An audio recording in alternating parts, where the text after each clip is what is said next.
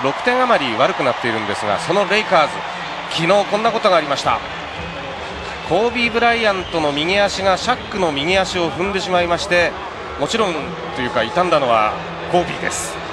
えー右足首捻挫ということで今日は試合に出られません。